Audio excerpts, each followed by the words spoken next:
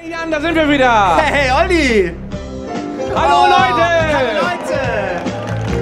Willkommen im Park am Gleisdreieck. Hallo Berlin, hallo Brandenburg. Willkommen zurück aus der Sommerpause. Es ist der letzte große Sommertag in diesem Jahr. Macht doch mal das, was ihr den ganzen Sommer noch nicht, noch nicht gemacht habt. Liebt euch, lebt zusammen, fasst euch an der Hand, springt durch den Brunnen, habt Spaß. Küsst euch. Oh, ist das schön, Olli. Ich Ah. genieße das tolle Sommerwetter. Du bist ganz haarig, du kleines Oh, Fellwesen. so hast du Kniestrümpfe an, die sehen aber schön aus.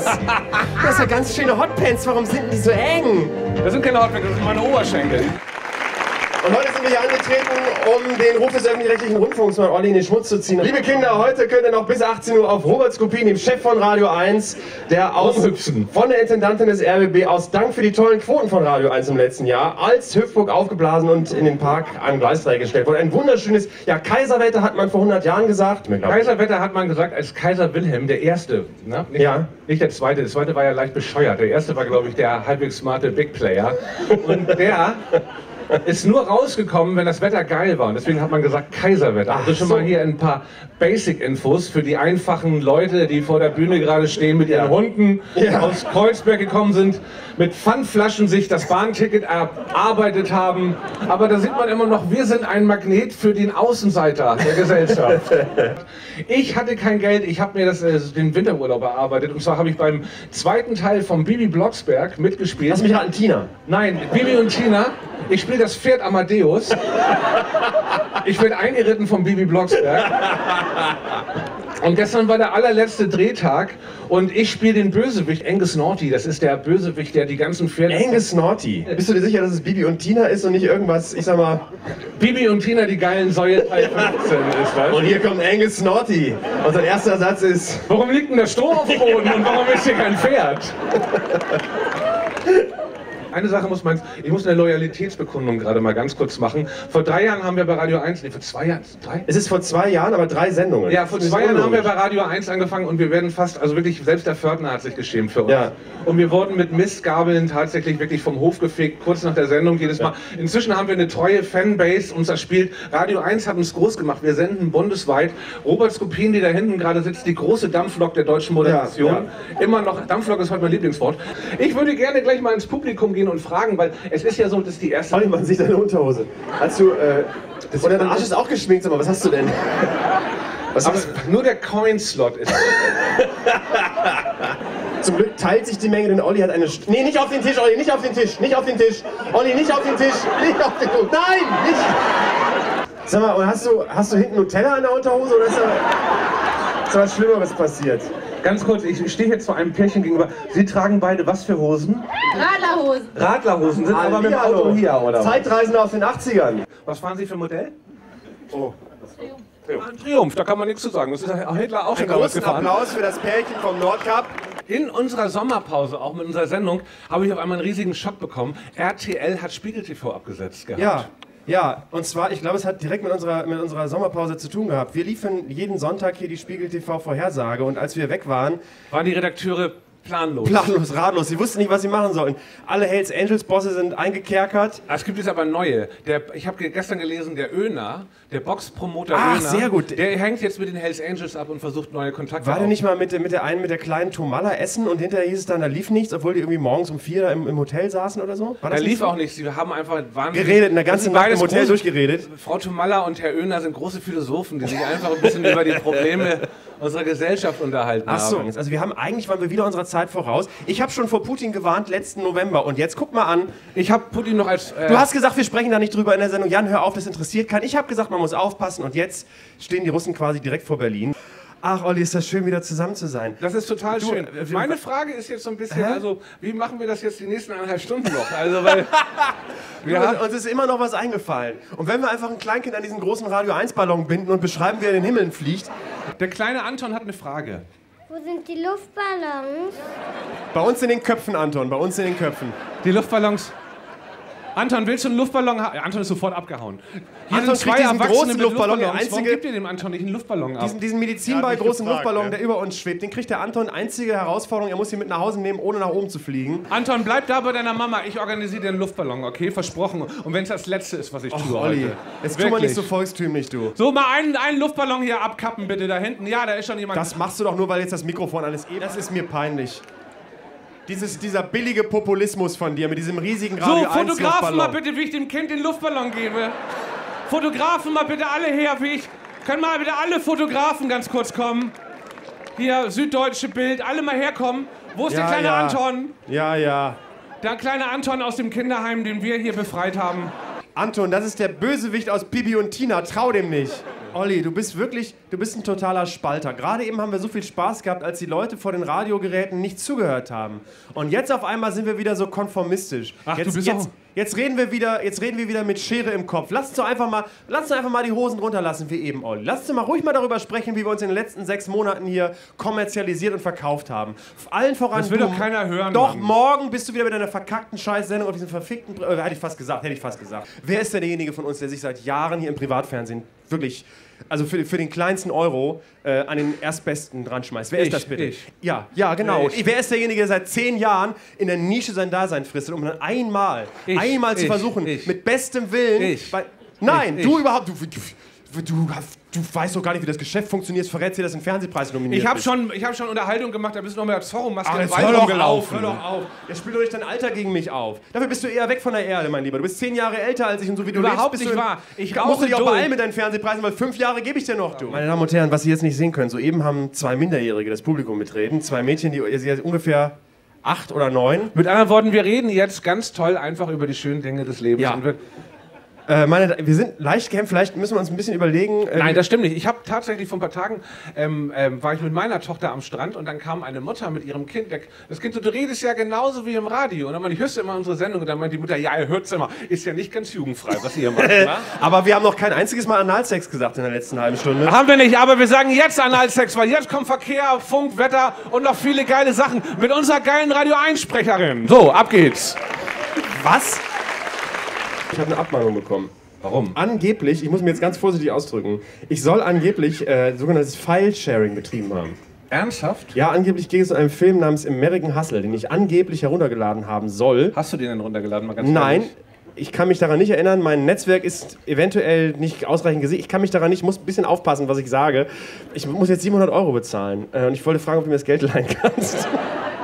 732 Euro. Mach ich klar. Wirklich? Wenn du, also wenn, bevor du ins Gefängnis gehst, obwohl das würde ich auch gerne mal sehen, du im Gefängnis, mit dem Körperbau eines Zwölfjährigen im Gefängnis für drei Wochen oder so, da bist du für drei Wochen eingebuchtet. Ja, aber ist doch nicht schlecht. Ich würde mich da hoch oder runter schlafen, je nachdem, worin, wohin geht's denn da, wenn man, sich da, wenn man da mit Leuten Geschlechtsverkehr hat? Hoch Kennst oder du runter? meinen Gefängniswitz? Soll ich ihn erzählen? Ja, erzähl doch mal bitte.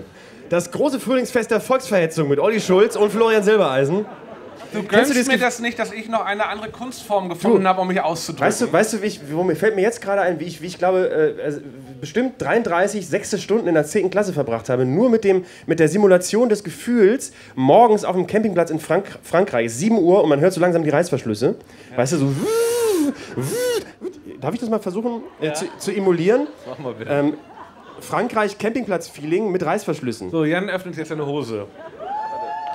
Nee, nee, nee, nee, ich habe da drunter so Soll ich, soll ich hier ranhalten? Was Sie gerade jetzt nicht sehen können, liebe Radio 1-Hörer, ich bin mit 5 Sekunden, äh, 5 Zentimeter nah an Jans Penis mit meinem Mund dran. Aber ich komme nicht näher ran. Weil der, Du, wenn ich den Reißverschluss aufmache, dann hast du, kriegst du ein blaues Ohr. Hallo kleiner Vogel, kleiner Vogel auf dem Baum. Mach das VPN-Netzwerk an, wenn du einen Torrent lädst. There's a rat in the fish, and what am I gonna do? I'm gonna catch them rat, that's what I'm gonna do, I'm gonna catch them rat. Ah, roll up and jump on prize. Give me now, give me now. Hey, hey, sexy lady, shake your booty. I'm fleeing so high, I wanna fly, wanna touch my body tonight.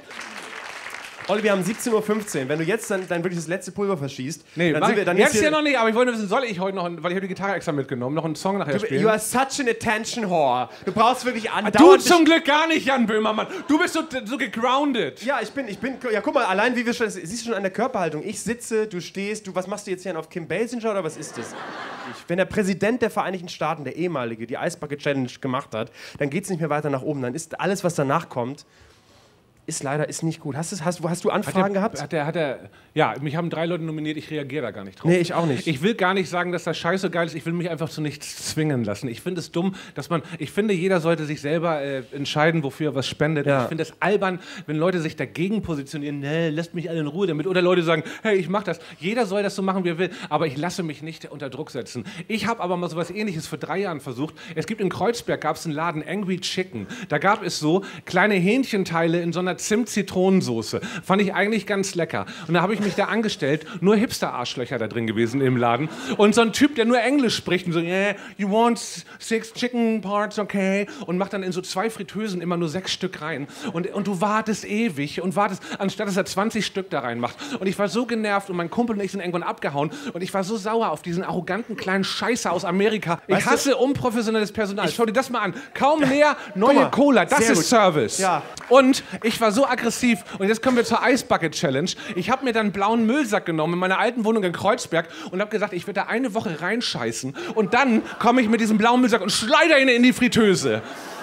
Und dann habe ich nach zwei Tagen, hat mich meine Frau gefragt, warum ist eigentlich der blaue Müllsack da auf dem, äh, bei uns irgendwie. Ähm, und ich habe dann gesagt, ach, das war eine Schnapsidee.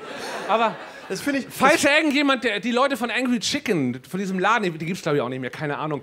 Also falls jemand da involviert war, die äh, sind ganz knapp am Desaster vorbeigeschrammt. Das könnt ihr denen mal ganz kurz Ich mitteilen. habe mehrere Fragen. Warum fiel dieser Scheiße Sack erst nach zwei Tagen auf?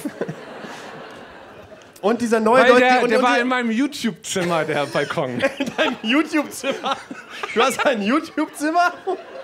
Olli Nein, Schulz- YouTube-Zimmer ist ein Zimmer, wo man sich zurückzieht, wenn die Wenn man- anderen alle wenn schlafen man- wenn und man man- nochmal in Ruhe vom Rechner recherchieren will. Olli, ich habe eine Idee. Ich habe eine Idee. Ich habe die ultimative Idee für, ein- für ein neues YouTube-Format. Äh, weil wir sind, wir sind ja immer noch Deutschland. Wenn man die deutsche Vergangenheit mischt mit einem aktuellen YouTube-Format, dass man quasi einen Haul macht, aber mit Nazis. Ich würde es Haul Hitler nennen. Ähm, und es wäre der Führer, quasi der Führer selber erzählt quasi, was er eingekauft hat. Ich war heute bei Rossmann. Ich war heute bei Rossmann. Ich habe mir, ich hab mir heute einen Bimstein gekauft. Ich habe ein Problem mit meiner, mit meiner Hornhaut. Es gibt in Hamburg eine ganz traurige Geschichte. Hey, du musst da, Olli, ich pitch dir hier eine Geschäft, weißt du? Ja, das ist das ich, ähm, genau ja, die für, mit für solche Ideen müssen hier in Berlin Agenturhunde sterben, Alter. Köln, Ist das ein so- Agenturhund, der da eben lag? Nein, das ist, glaube ich, Blondie, oder? Hallo liebe Freunde, da sind wir zurück, sanft und sorgfältig live, exklusiv auf Radio 1. Ey! Licky, licky, licky! So Jan, und jetzt ist es soweit. Endlich ist es soweit. Die erste Ausgabe nach der Sommerpause. Die großen fünf, definiert von Böhmermann und Schulz. Und heute geht es um die großen fünf Celebrity-Frauen, mit der wir uns vorstellen können, dass unser Partner zusammen wäre in der Öffentlichkeit und ein öffentliches Leben führen würde. Platz 5 äh, ist, fangen wir mal sachte an, Jenny Elvers. Äh, ich, ja, ich, also ich denke... Ich also, und Jenny Elvers. Jenny Elvers, die Jenny Elvers, äh, bekannt aus Funk, Film und äh, Entzugsklinik. So, mein Platz 5, mit wem ich dich also wirklich sehen könnte auf dem roten Teppich jetzt schon, bei Partys und so, ist Sandra Maischberger. Ah, okay. Weil die ist ein, die ist ein Polit-Clown, genauso wie du. Ja. Aber er hat die seriöse, du bist ja mehr der, der, der so witzige Sachen macht. Sandra Maischberger macht, macht so Sachen. Ich kann mir auch vorstellen, wenn du mit Sandra Maischberger zusammen wärst, würdest du dafür kämpfen, dass ich aus der Sendung rausgeekelt werden würde. Deswegen mein Platz hier, fünf- oder wie? Ja. Nee, aber warum Quatsch? Äh, Böhmermann und Maischberger klingt fast so wie Roach und Böhmermann. Und das ist irgendwie. Ja, alles- fast nur halt fünf Silben mehr. Die ersten Leute verlassen das Publikum. Ciao, mach's gut. wenn du jetzt gehst, dann lösen wir uns auf. Also Lena Meiland ist doch, ist doch eigentlich super, ist doch auch schmeichelhaft, oder? Dass ich, dass ich, Ja, also kann das Publikum sich auch gut vorstellen, oder? ja, oder? Was ist das? Ja, ja, ja. Ja, ich sehe, ha, viele Frauen sagen, warum hat er nicht meinen Namen genannt? Weil ich euren Namen nicht kenne. Ganz einfach, aber also, Also die mit meisten, die habe ich schon geschlafen. Also ich kann nicht sagen, von wem willst du den Namen wissen? oh Gott, geil, Von dem da Frauen- mit dem Vollbart? von der mit dem Vollbart. Das ist Kai, das ist ein super Küsser. Die großen fünf der Frauen, mit denen wir uns den jeweils anderen... Guck mal, der hat meinen äh, Kuss geschluckt. Mach das nochmal, Kai, das war der hat witzig. mein- Wow. Der hat meinen Oh, Kuss pass. geschluckt. Hast du gesehen? Oh my God, he swallows. Pass auf, Jan, was eigentlich der Hammer wäre, einfach, wenn du mit Charlotte Roach zusammenkommen würdest und ihr einfach wieder euch. Und diesmal ist es Liebe. Das ist die perfekte Nummer eins, meiner Meinung nach. Und sie wird ihr drittes Buch veröffentlichen, wo es nur um dein Geschlechtsteil geht. Und äh, wie lange man da, wie viel Gummibärchen man unter deine Vorhaut schieben kann. Also mit anderen Worten, das wäre wahrscheinlich das Allerbeste. Das waren die großen fünf. Bis nächste Woche. Nächste Woche, ne? Ja, nächste Woche wieder. Dann und ab. Nächste Woche wieder, dann ein Leben lang. Tschüss. Danke, dass ihr da wart und uns ertragen habt. Ja, vielen Dank.